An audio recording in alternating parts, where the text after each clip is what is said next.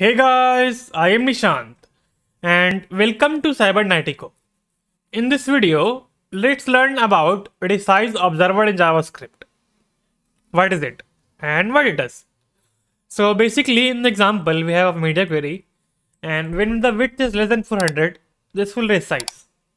Sorry, this will change the color to red. So we can do the same in JavaScript as well, not using CSS. So first, let me comment out this. Move to index.js and we need to select this class of container. And we will use this size observer to observe the size of the window or the output screen.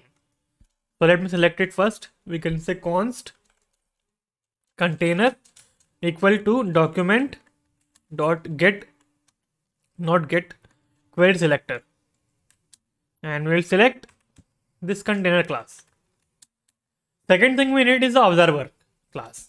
So let's create its instance. So we can say const observer equals to new resize observer which is a callback function. So it takes a param let's say items and let's say we can just print that in the console which is items. Now class is done and we have selected this container class. Now let's observe this class.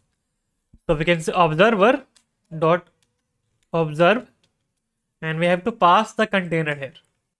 Now let me refresh the page and see the console. We will get this array here which contains the x y the i mean coordinates i think the width of the document the height which is 400 and all and also we have this target that we will need later to change the color from this javascript file. So we need the width as well. So let's select the width first.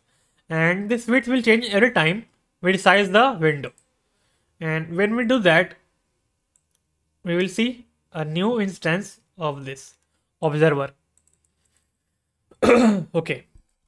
Now let's select the width. So we can select uh, container width width equals to items.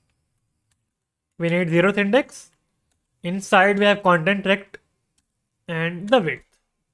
We also need to make the value absolute. So we can use math dot ceil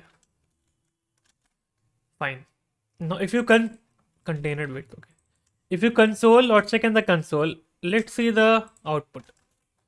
Save the file clear the console and resize the window now. And we'll see the output the current width in pixels. If we increase the window this will increase. If we decrease the window it will decrease. Now let's create a check here.